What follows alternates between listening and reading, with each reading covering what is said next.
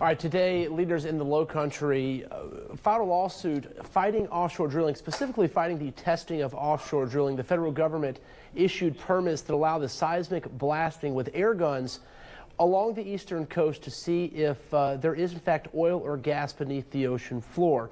If we go to some video here, you'll see that uh, earlier today, they gathered in Charleston where that federal lawsuit was filed. This is in Beaufort, where leaders from Hilton Head, Port Royal, and Hilton Head fought that, that permit that allows them to test for gas. Now, several national, state, and local leaders in the low country are supporting this lawsuit together. They say the seismic blasting disrupts marine life.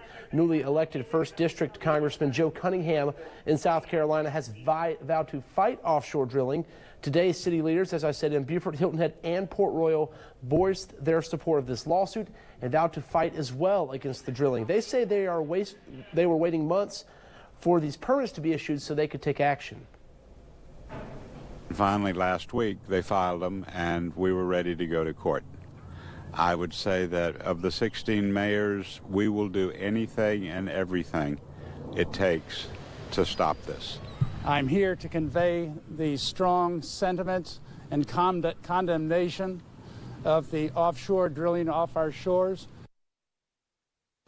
Congressman Buddy Carter, who represents coastal Georgia, disputes their facts. He says previous administrations agreed that seismic testing did not disrupt marine life. He supports the exploration for oil or gas beneath the ocean floor. He has not taken a stance against or for offshore drilling. Take a listen.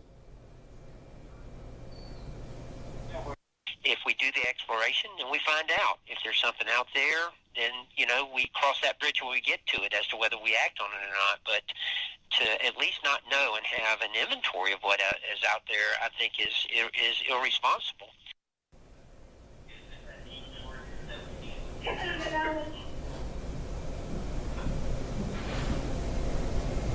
N minus four eight four eight zero.